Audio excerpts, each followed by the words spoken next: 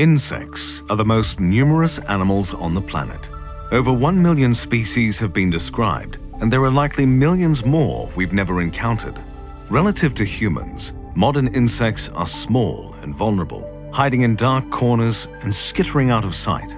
But there was a time on our planet when insects were large and dangerous creatures that dominated their ecosystems, and in many ways, ruled the prehistoric world.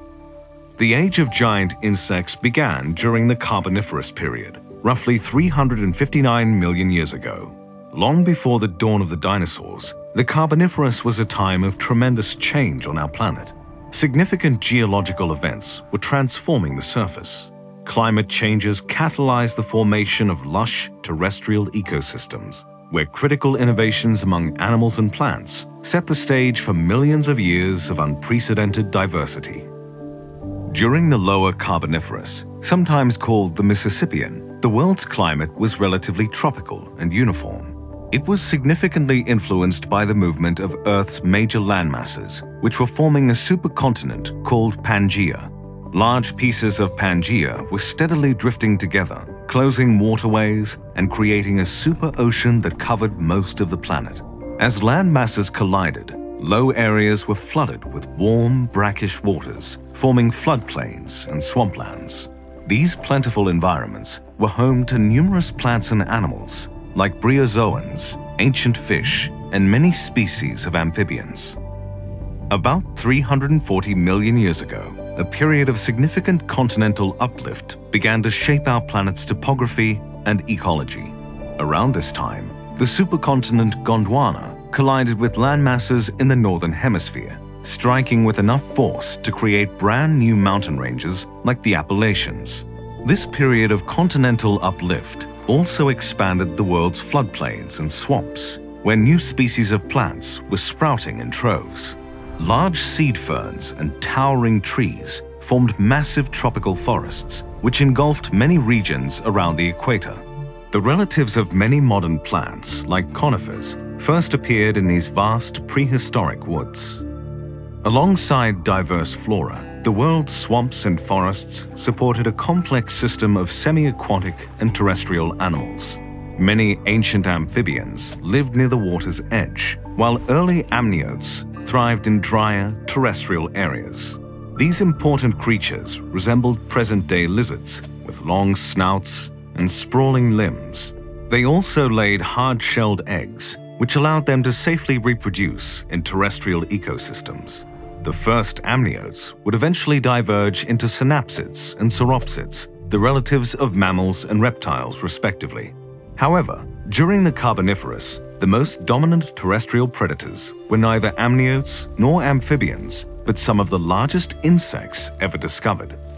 About 323 million years ago, an unprecedented period of gigantism generated insects more than 10 times larger than their modern counterparts. Many species were unrivaled in their respective ecosystems. One of the best-known apex predators was a giant winged insect called Meganeura that resembled modern-day dragonflies. Meganeura had a wingspan of up to 70 centimeters, about the size of a pigeon today. For much of the Carboniferous period, winged insects like Meganeura were the only animals capable of flight, so the largest species ruled the skies.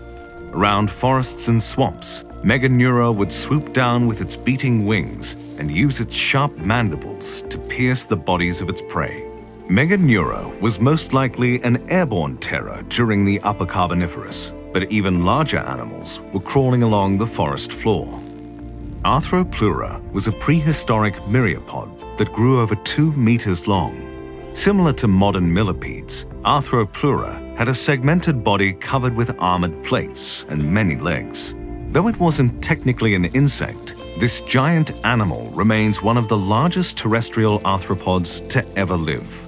When it was first discovered, paleontologists believed Arthropleura used sharp mandibles for cutting and stabbing prey, but more recent specimens suggest this giant creature, despite its terrifying appearance, was actually a herbivore.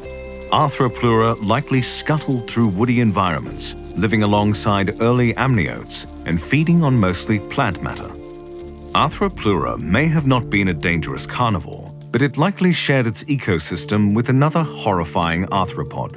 Known as the lung scorpion, Pulmonoscorpius was a giant relative of modern-day scorpions that grew up to 70 centimeters long. Dwarfing even the largest species today, Pulmonoscorpius had big eyes, an armored body, and a sharp stinger on the end of its tail. In woodsy biomes and swamps, Pulmonoscorpius was likely a dangerous predator that preyed upon everything from amphibians and amniotes to other arthropods. Paleontologists have discovered many fossils of large arthropods, but some debate remains over why these animals became giants in the first place. Similar levels of insect gigantism have not occurred since the Upper Carboniferous. So what was special about this period? Many evolutionary factors, like reproductive success or decreased competition, can influence an animal's body size. For example, a deficit of flying predators during the Carboniferous period may have allowed more insects to survive in the open, leading to a general increase in both size and diversity.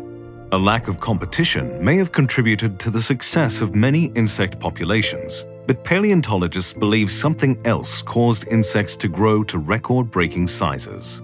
During the late Carboniferous, oxygen was extremely plentiful in the atmosphere, far exceeding oxygen levels today. This period of hyperoxia, or oxygen abundance, may have influenced the growth of terrestrial arthropods. Giant insects like Meganeura likely had high metabolic rates and would have benefited from an oxygen-rich environment. Hyperoxia may be our best explanation for this unusual period of gigantism, but this theory remains controversial. Though large and terrifying, giant insects represented only a tiny slice of insect diversity throughout the Carboniferous period. Tropical swamps and forests were crawling with all kinds of insects, from wingless hexapods to fast and mobile flyers. The first Orthoptera, ancestor of grasshoppers, crickets, and locusts, may have hopped along the forest floor or flown between branches with parallel wings. Others, like mayflies and griffinflies, leverage their mobility to escape predators, locate resources, and travel between environments. Some flying insects evolved winglets in front of their primary wings to give them even more mobility in the air. Later, more advanced insects adapted folding wings, which they could tuck away as they flew from tree to tree. Though not giant monsters, many of these species, like early cockroaches, were massive compared to their modern counterparts. Of course, insects weren't the only creepy crawlies diversifying during the Carboniferous. In the same lush ecosystems, many other kinds of arthropods carved out unique niches and became vital to the development of our global ecosystem. For example, the first true spiders emerged during the Carboniferous period, though spider-like arachnids did appear much earlier.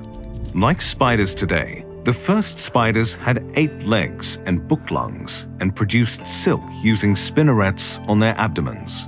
Paleontologists believe the first spiders were abundant in coal forests and may have built burrows on the forest floor. To hunt, these predators may have hidden behind trapdoors, waiting for unsuspecting prey to walk or fly too close. Not until the early Cretaceous period did spiders begin hanging from trees or building intricate webs like modern weavers. As far as we know, the first true spiders were relatively small, but in 1980, an Argentinian paleontologist discovered a gigantic arachnid with a leg span of approximately 50 centimeters. This specimen would have been the largest spider ever discovered, but it wasn't a spider at all. Instead, it belonged to a group of extinct arthropods called Eurypterids, also known as sea scorpions. Eurypterids were terrifying marine predators that grew up to 2.6 meters long, surpassing Arthropleura as the largest known arthropods. These creatures were most populous during the Silurian and Devonian periods. By the Upper Carboniferous, the largest species were already extinct.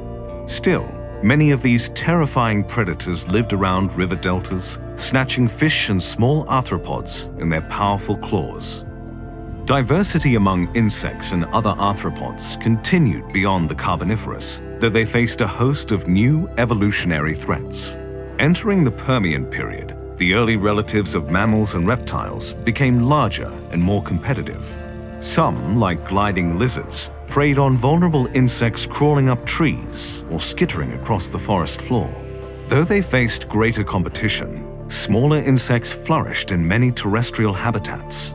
Lice, thrips, true bugs, and even the first insects capable of metamorphosis carved out new ecological niches.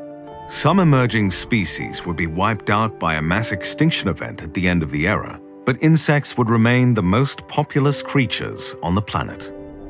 In many ways, the Carboniferous period was an age of incredible change and diversity on Earth.